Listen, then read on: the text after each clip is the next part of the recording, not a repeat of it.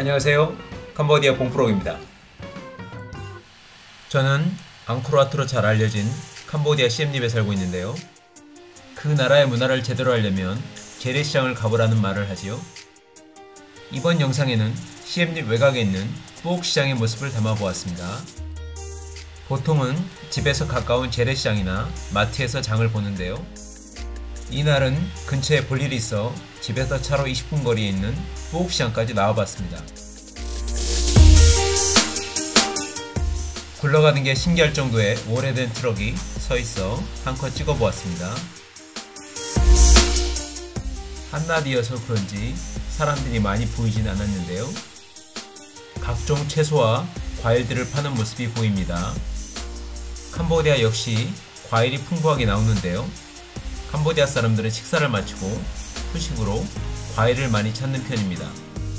훈제 처리된 말린 생선과 젓갈도 있네요.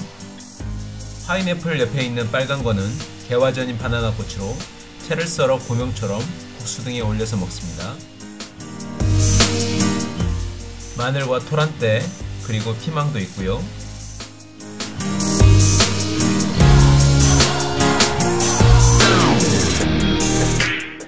향이 나는 채소 역시 빠지지 않고 있네요.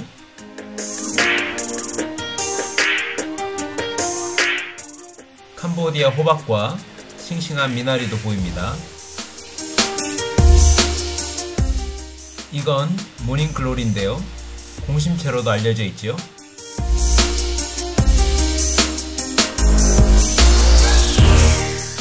고추처럼 생긴 오크라는 변비와 피부 미용에 좋다고 하네요.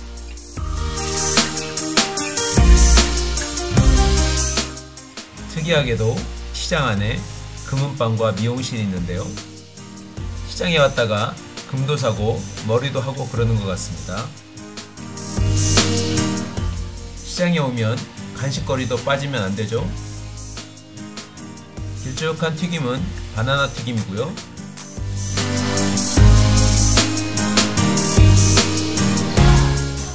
이건 매콤하게 양념한 개첩입니다. 죽통밥과 연밥도 있고요.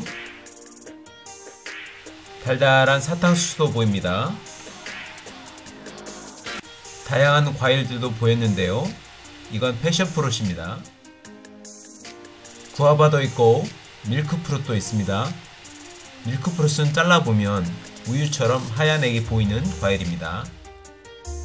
딱딱한 그린 망고는 잘 익은 노란 망고와 또 다른 느낌의 맛이 있고요. 자몽과 용과도 있네요.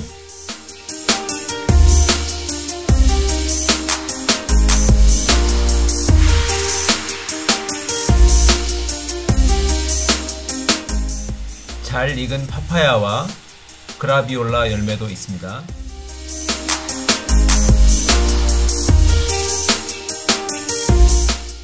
미니 수박과 한국에서 수입해 들여온 단감도 보입니다.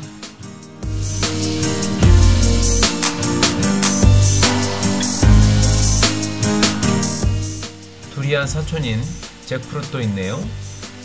잭프루트는 이렇게 달려 있어요.